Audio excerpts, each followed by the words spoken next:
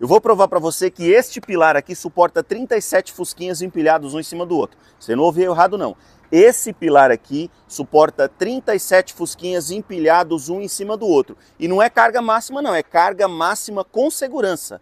Caramba, Fred, você tem certeza disso que você está falando? Que esse pilar aqui suporta 37 fusquinhas? Vem comigo que eu vou te mostrar. Vou fazer as contas aqui facinho. Você precisa de três informações. Primeira coisa, antes de passar essas três informações, a gente está falando quanto que esse pilar suporta de carga vetorial, ou seja, peso de cima para baixo. E é isso mesmo que eu falei. 37 fusquinhas. Você precisa de três informações para fazer essas contas. Eu vou mostrar para vocês o passo a passo nesse vídeo como que a gente faz essas contas e de quebra você já vai aprender a calcular quanto que os pilares que você tem na sua casa suportam de carga. Você precisa ter as três informações.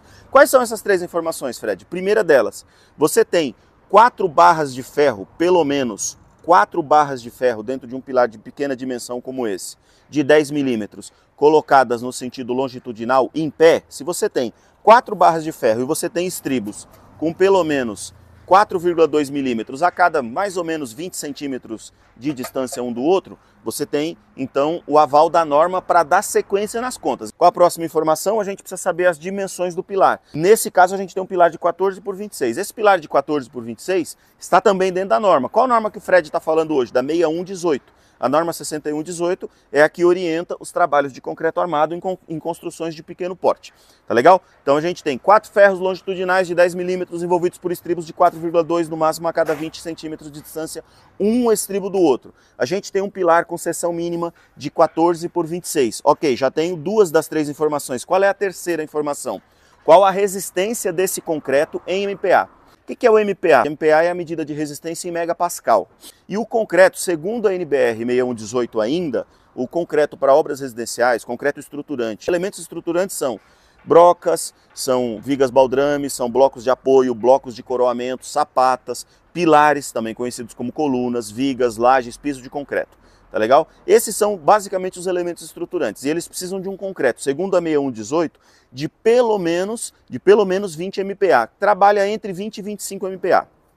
Aqui, como referência, ele tem 25 MPa esse concreto, mas a gente vai fazer a conta como se fosse um concreto de 20 MPa porque 20 MPa já é um concreto bem resistente para as construções residenciais. Então vamos fazer a conta como 20 MPa. Agora vamos para a conta, Fred, como é que a gente faz a conta? Eu vou fazer aqui com a calculadora mostrando para vocês. Primeira coisa, a gente tem que saber o quê? Quanto de peso o concreto suporta de acordo com a sua dureza. Para cada 1 MPa, o concreto vai resistir, em média, nas cargas vetoriais, a 10 kg força por centímetro quadrado. Então, para cada centímetro quadrado, quadradinho de 1 por 1 centímetro, você consegue colocar dois pacotes de arroz se o seu concreto tiver 1 MPa. E se o concreto tiver 20 MPa, Fred, é só multiplicar por 20. Então a gente já sabe o que aqui? A gente tem que, a gente já sabe qual é o MPa desse concreto, que é 20 MPa. A gente precisa saber quantos centímetros quadrados a seção desse, desse pilar tem, que é 14 por 26. Primeira conta que a gente faz aqui, ó. Eu coloco 14 e multiplico por 26. Tá aqui, ó, 14 vezes 26. Deu 364 centímetros quadrados. Se eu tenho 20 MPa, 20 MPa tem uma resistência por centímetro quadrado de 200 quilos. Então eu tenho uma resistência de 200 quilogramas força por centímetro quadrado nesse pilar. Então eu vou multiplicar 200 por 364 vezes 200. Eu tenho qual resultado? eu tenho 72.800 quilos. Eu consigo colocar 72.800 quilos em cima desse pilar. Só que esse, em laboratório, é o ponto de ruptura desse concreto. A gente não quer que o concreto rompa, a gente não quer que o concreto quebre, porque senão vai cair a casa na nossa cabeça. Então, qual que é o fator de segurança aplicado na engenharia no Brasil hoje em dia? A gente pega esse número aqui, ó, 72.800 quilos, e divide por 1,4. Aí a gente chega em qual resultado? 52 toneladas. Esse pilar aqui suporta com segurança 52 toneladas. Fred, e a história dos Fusquinhas? A gente só faz as contas. É pegar esses 52 mil quilos e dividir por mais ou menos 1.380 quilos, que é o peso mais ou menos de um Fusquinha. E qual é o resultado que a gente tem? A gente consegue colocar 37 Fusquinhas, 68. 37 Fusquinha com segurança colocado em cima desse pilar. Fred, como é que eu faço essa conta na minha casa? Primeira coisa você tem que saber, e provavelmente você já sabe, tem quatro barras de ferro longitudinais, você tem quatro barras de ferro longitudinais que são de 10 centímetros, de, ou melhor, de 10 milímetros de diâmetro, Você tendo isso, você pode começar a fazer essas contas que eu passei para você.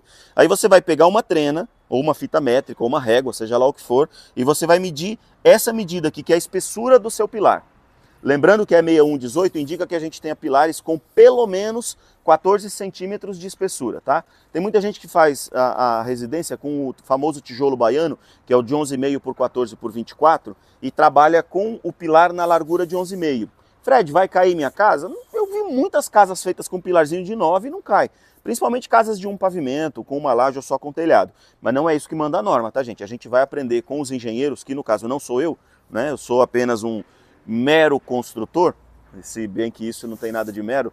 Então a gente vai aprender com a engenharia, com os engenheiros, que a gente precisa fazer pilares de pelo menos 14. E a norma também diz isso. Então você vai medir aqui, deu 14, aqui deu 26, 14 por 26 também é o mínimo, tá gente? Deu 14 por 26, a gente tem 364, porque 360 é a seção mínima de um pilar em obras residenciais. Desculpa. Então aqui a gente tem 364 de seção do pilar em centímetros quadrados. Se você tiver um de 15 por 30, 15 por 30 é só multiplicar. 15 vezes 30, 45, coloca o zero, 450. Aí você tem 450 centímetros quadrados. Fred, qual que é a resistência do concreto que eu chego lá com uma massa 3 para 1? Gente, a massa 3 para 1 você vai ter aí de 10 a 15 MPa. Aqui nesse concreto a gente tem também tem dois macetes que eu vou passar para vocês que são muito importantes. Esse concreto, a gente tem ele com 25 MPa, mas por que, que a gente tem essa resistência a mais? Porque a gente conseguiu diminuir a quantidade de água. Como que eu faço para ter um concreto mais resistente? Primeiro você tem que olhar o cimento que você está usando. Se é um cimento fator de fator de dureza de 32, que é o CP2E 32, por exemplo, o a último, último númerozinho é 32, então você alcança uma resistência sem aditivo de no máximo 32, só que você tem que trabalhar com uma pasta muito concentrada de cimento para chegar nesse valor e com pouquíssima água.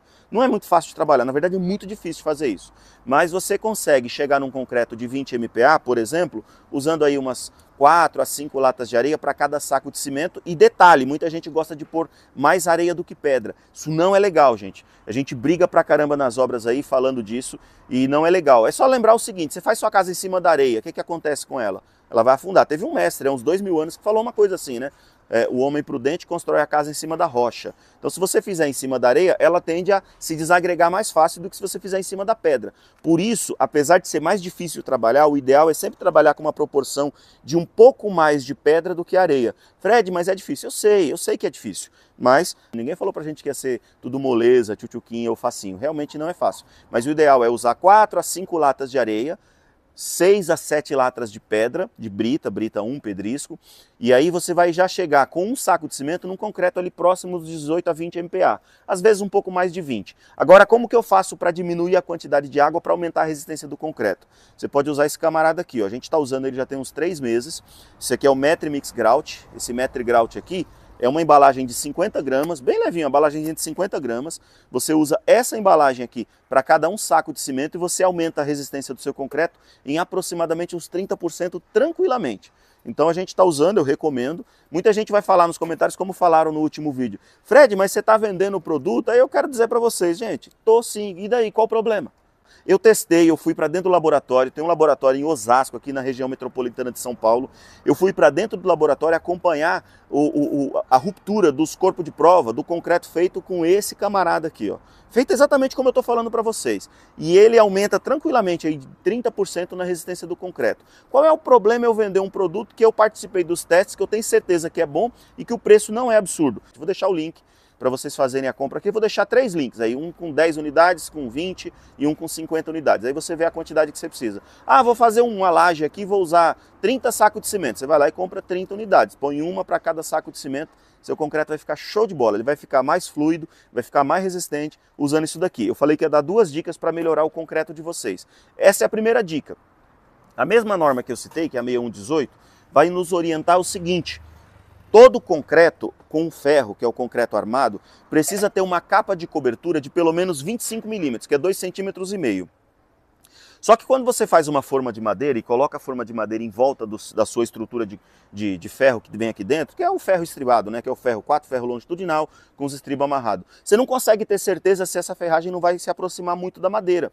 E aí você, se o concreto, por exemplo, tiver aqui e o seu ferro se aproximou da madeira, você vai ter uma capa de concreto pequena. Qual é o problema disso? O problema é que o concreto absorve um pouco de água. Por mais que o concreto seja bem compactado, ele não é 100% impermeável, ele sempre é um pouquinho poroso, então ele vai absorver água. Quanto mais distante da superfície estiver o ferro, ou seja, pelo menos 2,5 centímetros, melhor.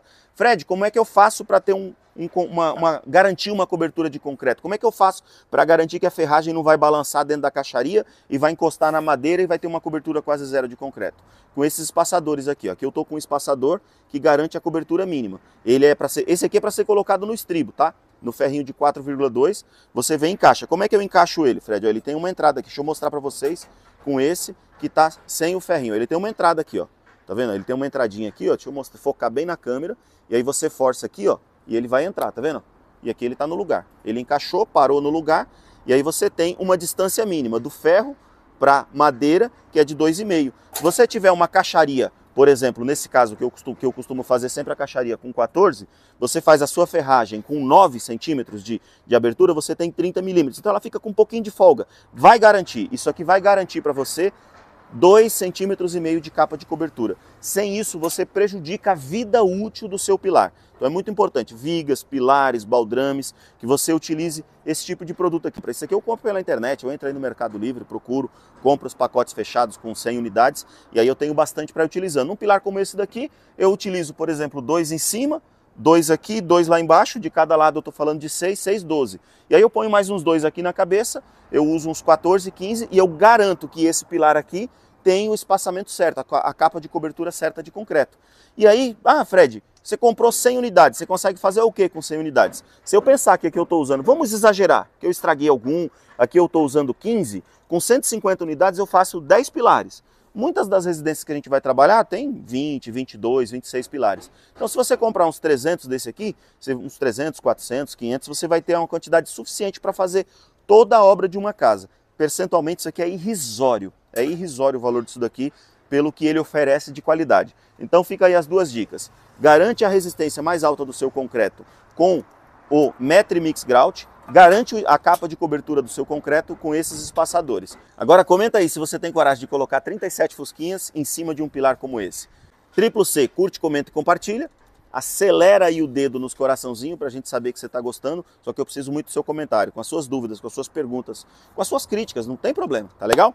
E não deixa de conhecer os produtos lá no site lojametre.com.br. Ah, eu já ia esquecendo, você vai utilizar o cupom lá no site lojametre.com.br, você vai utilizar um cupom de desconto, que é o FRED10, tudo junto, maiúsculo, FRED10, sem espaço, sem ponto, sem nada. Você digitou esse cupom lá, você já tem 10% de desconto. 10% de desconto significa que se você fosse pagar 10 reais no saquinho, você vai pagar 9, se fosse pagar 9, vai pagar 8 e 10 e assim sucessivamente. Legal? Bem-vindos mais uma vez ao Dicas do Fred, que Deus te abençoe e até a próxima.